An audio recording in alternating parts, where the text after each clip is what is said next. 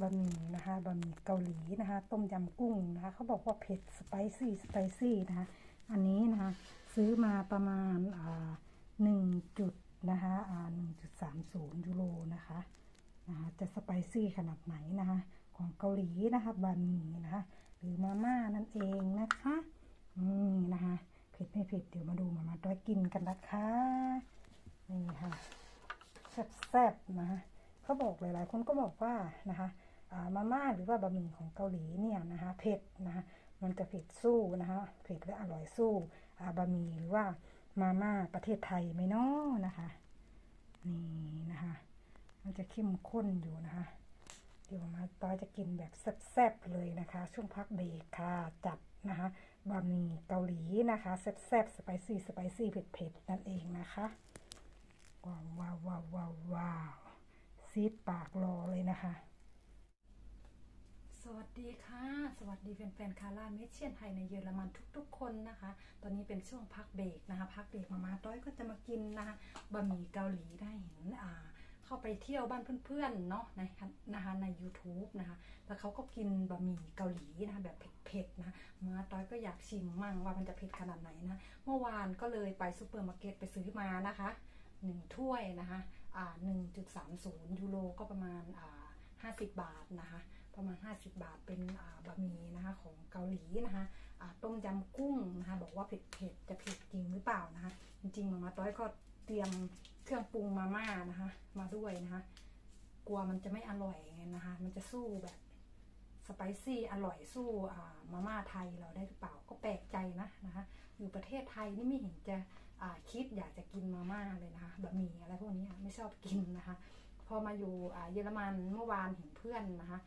เขาลงคลิปเนาะนะคะกินบะหมี่เกาหลีนะคะซีดปากซีดซาดซีดซาดเลยนะคะหมอมาต้อยโอ้เดี๋ยวฉันต้องจัดมั่งละอะไรประมาณนี้นะคะนะคะ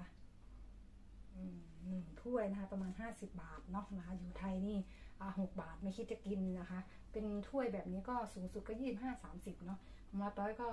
เตรียมนะคะน้ำแอปเปิลมาด้วยเผื่อมันเผ็ดของจริงนะหลายๆคนเขาบอกว่าผิดเผ็ดของจริงต้องชิมดูก่อนนะคะ ร้อนๆอยู่เลยนะ เป็นอ่ารสต้มยำกุ้งนะคะบะหมี่เกาหลีรสต้มยำกุ้ง ปกติมามาต้อยเนี่ยไม่ชอบกินโชว์นะ เพราะว่า กินแบบไม่อร่อยไงนะคะ ไม่อร่อยกลัวเพื่อนๆอ๋ออะไรประมาณนี้นะคะไม่เผ็ดนะคะ ว่าแล้วนะคะว่ามันไม่เผ็ด ใสนะ ไม่มีอ่าขนาดเขาบอกว่า spicy นะเพราะมันขายในซูเปอร์มาร์เก็ตของเกาหลีก็จริงนะคะ ขายในซูเปอร์มาร์เก็ตเทพริกใส่แล้วนะคะขายในซูเปอร์มาร์เก็ตของเยอรมันนะคนเยอรมันเขาไม่กินเผ็ด spicy ขนาดไหนก็ไม่เผ็ดไม่มีรสชาติเลยนะนะคะรสนี้นะคะต้มยำกุ้งนะคะ ต้มยำกุ้งไม่มีรสชาติเลยไม่เผ็ดเลย ค่อยมีรสชาติขึ้นมาหน่อยนะคะต้องใส่เครื่องปรุงของมาม่าบ้านเราเลยนะคะบะหมี่เนาะนะคะก็ใส่เครื่องปรุงของบ้านเราแล้วนะคะ ถึงจะได้รสชาตินะหมูต้อยบ้างเผ็ดเผ็ดของคนเยอรมันถ้าคนเยอรมันหรือว่าฝรั่งกินเนี่ย อาจจะเผ็ดเนาะนะคะแต่ว่าเราเนี่ยปกติมาม่าต้อยก็ไม่กินเผ็ดเท่าไหร่หรอกพริกติดโคกอะแต่นี่มันไม่ได้รสชาติเลยนะคะนึกว่า รียมน้ำมาเรียบร้อยนะน้ำแอปเปิลนะคะนึกว่าจะเผ็ดไม่มีเลยค่ะนะคะอันนี้มาใส่เครื่องปรุงของบ้านเราเอานะคะ ใส่เครื่องปรุงของมาม่านะบะหมี่เกาหลีนะคะ ขายที่เยอรมันนะคะหนึ่งจุดสามศูนย์ยูโรประมาณห้าสิบบาทนะคะอือหือนะคะใส่ของเครื่องปรุงบ้านเราเนี่ยมันพอดีเนาะมันไม่เผ็ดอยู่แล้วเครื่องปรุงบ้านเรานะคะมันก็จริงๆมาต้อยเป็นคนแบบชอบออกเปรี้ยวเนาะเห็นอ่าประเภทต้มยำกุ้งเนี่ยนะคะ บะหมี่ต้มยำกุ้งน่าจะแบบเปรี้ยวเผ็ดสรุปแล้วสู้บะหมี่หรือว่ามาม่าบ้านเราไม่ได้นะคะของบ้านเรานี่สุดยอดนะคะ อืมก็ได้รสชาติขึ้นมาหน่อยนะคะค่อยเป็นแบบหมี่ขึ้นมาหน่อยอนึกว่าจะเผ็ดทำให้ปากมามาต้อยแดงสักหน่อยไม่แดงเลยนะคะ มันก็จริงๆมาต้อยก็เป็นคนไม่กินเผ็ดอยู่แล้วเนาะนะคะ อืม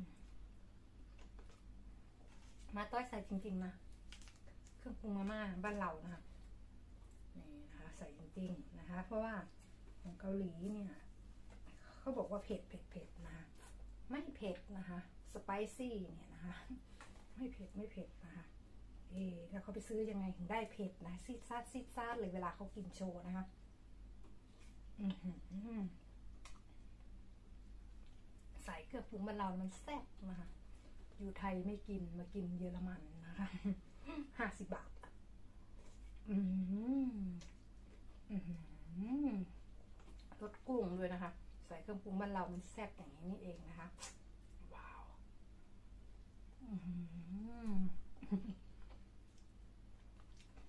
แซ่บแซ่บแซ่บแซ่บนะคะ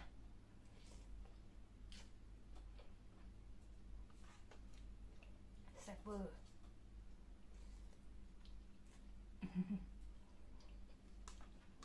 ปกติไม่ค่อยกินโชว์อายนะคะ กินแบบ กินไม่เก่งนะกินไม่มันกินไม่แซ่บนะคะ โอเคเนาะสำหรับคลิปนี้นะคะ อย่าลืมกด subscribe กดไลค์กดแชร์เพื่อเป็นกำลังใจให้กับคาร่าเมเชียนไทยในเยอรมัน และหมามาต้อยด้วยนะคะ